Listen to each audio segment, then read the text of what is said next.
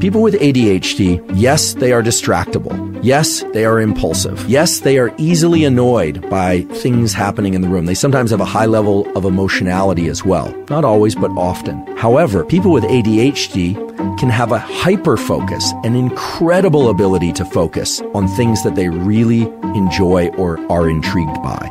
Now, this is a very important point because typically we think of somebody with ADHD as being really wild and hyperactive or having no ability whatsoever to sit still and attend.